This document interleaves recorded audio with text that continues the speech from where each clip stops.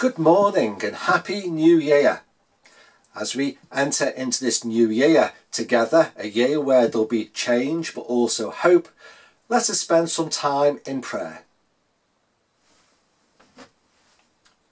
Lord of our journeys, help us this day to have eyes to see your leading, ears to hear your guidance, and a heart of courage, that we may journey faithfully and find your way, even when the path may seem difficult and dark. Amen. And we sing our first hymn, O worship the Lord in the beauty of holiness.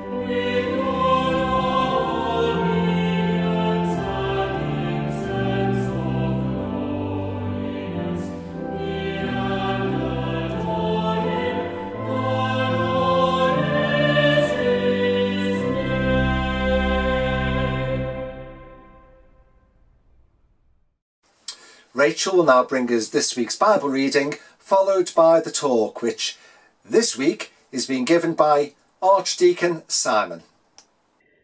In the time of King Herod, after Jesus was born in Bethlehem of Judea, wise men from the east came to Jerusalem, asking, Where is the child who has been born King of the Jews?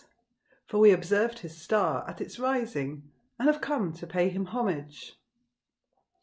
When King Herod heard this, he was frightened, and all Jerusalem with him. And calling together all the chief priests and scribes of the people, he inquired of them where the Messiah was to be born. They told him, In Bethlehem of Judea, for so it has been written by the prophet. And you, Bethlehem, in the land of Judah, are by no means least among the rulers of Judah, for from you shall come a ruler who is to shepherd my people Israel. Then Herod secretly called for the wise men and learned from them the exact time when the star had appeared. Then he sent them to Bethlehem, saying, Go and search diligently for the child, and when you have found him, bring me word, so that I may also go and pay him homage. When they had heard the king, they set out, and there, ahead of them, went the star that they had seen at its rising, until it stopped over the place where the child was. When they saw that the star had stopped, they were overwhelmed with joy.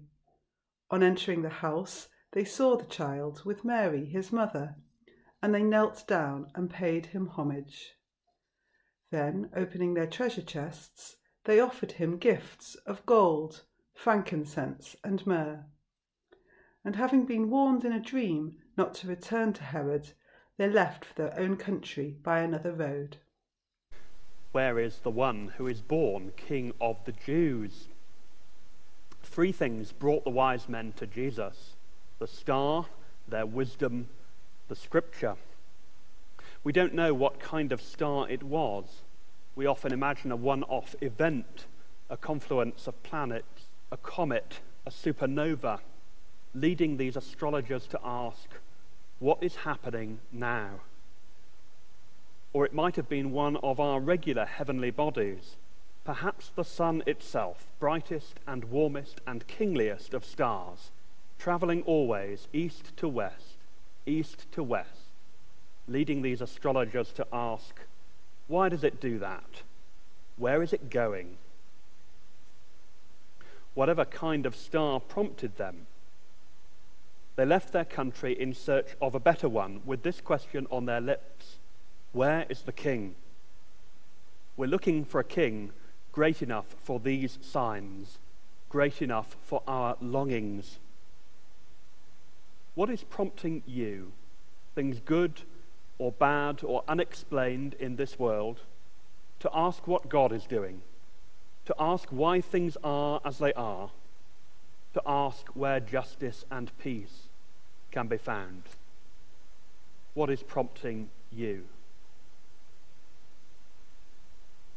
And the star led them from the east to the west, to the Mediterranean Sea, and they could go no further. And they must have asked, Who is the king in this country? And they found King Herod, a puppet propped up by the Romans to keep this frontier secure from rebellion. And we were fortunate that these magi were wise indeed, so that they could see that Herod, called the king, was not the one they were looking for, just a self serving politician.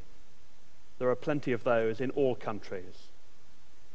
Not the king of justice and peace, but of deceit and self promotion.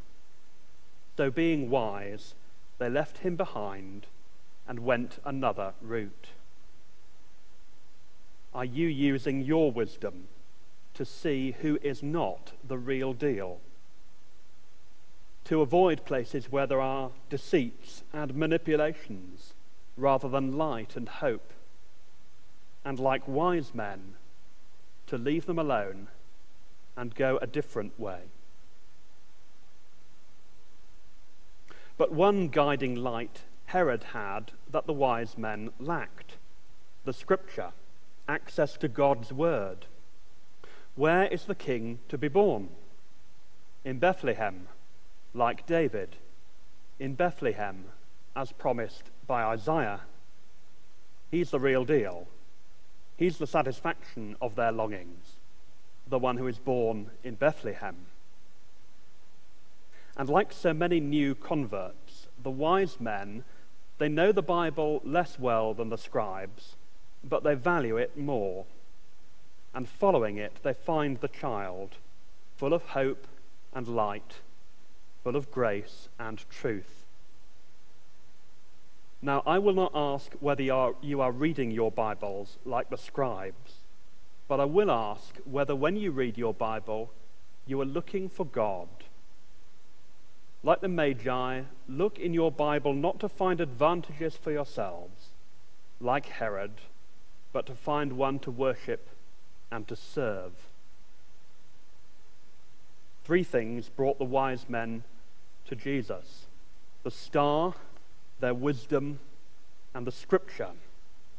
The star pushed them to ask what was happening, what God was doing, where they should go. Wisdom steered them away from what was life destroying, and the scripture brought them to the source of life himself. Go thou and do likewise. In the name of the Father, and of the Son, and of the Holy Spirit. Amen.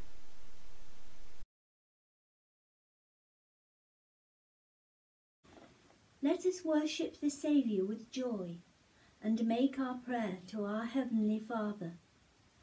The Magi came from the east to worship your Son. Father, grant to Christians everywhere the spirit of adoration. Lord of glory, hear, Hear our prayer. prayer. The infant Christ received gifts of gold, incense, and myrrh. Father, accept the offering of our hearts and minds at the beginning of this year. Lord of glory, Hear our prayer. The kingdoms of this world have become the kingdom of our Lord and of his Christ. Father, grant us an abundance of peace to your world. Lord of glory, Hear our prayer. The Holy Family lived in exile and in the shadow of death. Father, look in mercy on all who are poor and powerless, and all who suffer. Lord of glory, hear, our prayer. Your Son shared the life of his home and family at Nazareth. Father, protect in your love our neighbours, our families, and this community of which we are a part. Lord of glory, Hear, our prayer. Father, we rejoice in our fellowship with the shepherds, the angels, the magi, the Virgin Mary, Saint Joseph, and all the faithful departed.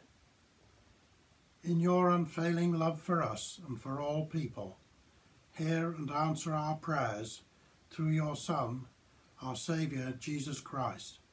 Amen. Amen. Let us pray as Jesus taught us.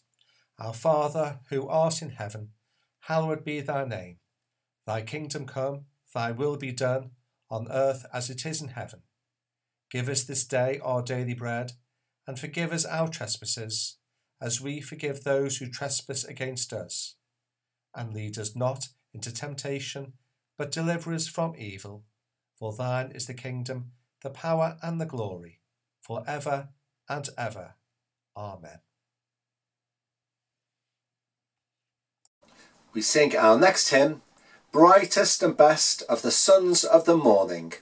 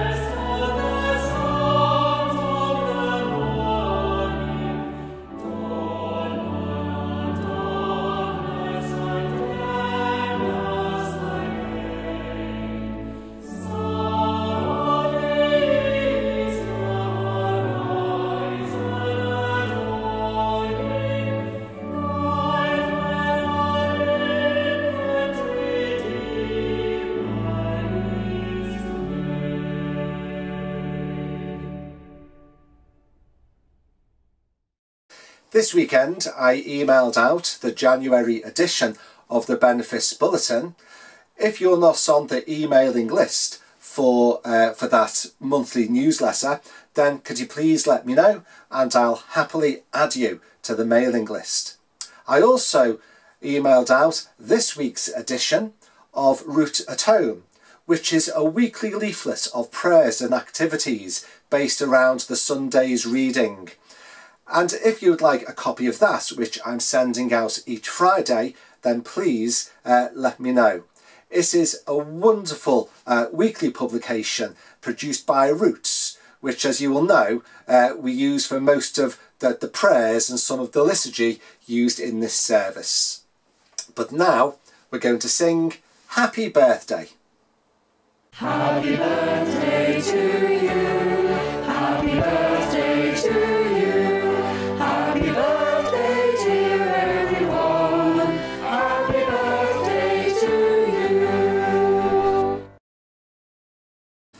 Thank you for sending me your pictures for this week's gallery, uh, showing us what you were doing over the festive period.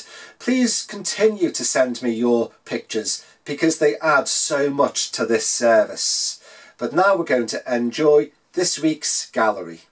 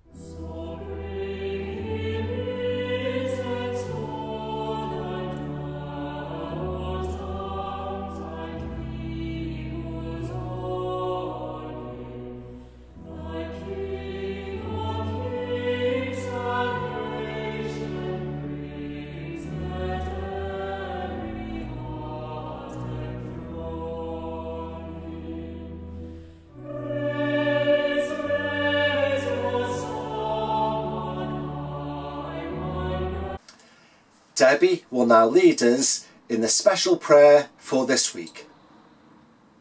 Dear Lord, we pray for a positive new year to come, for our families and loved ones, for our friends and neighbours, for the peoples of the earth.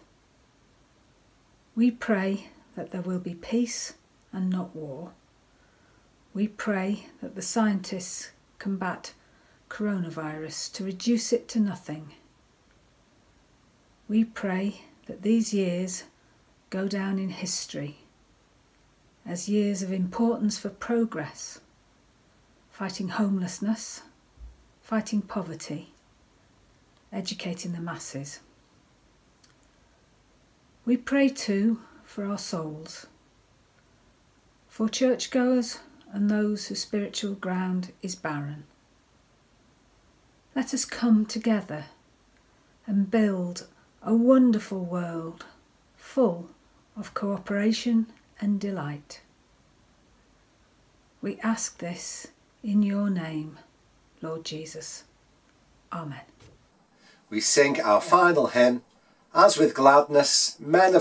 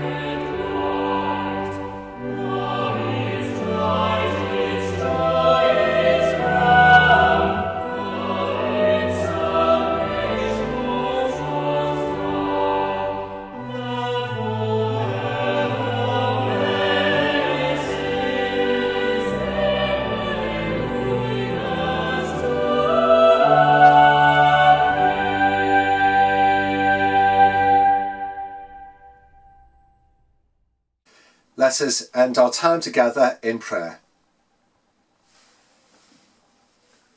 Lord, as we continue our journey with you this week, as we seek to live out our faith every day, be with us, surprise with your love, nudge us when you want us to see or do something new, for Jesus' sake. Amen. And the blessing of God Almighty, the Father, the Son, and the Holy Spirit be with you and remain with you always. Amen.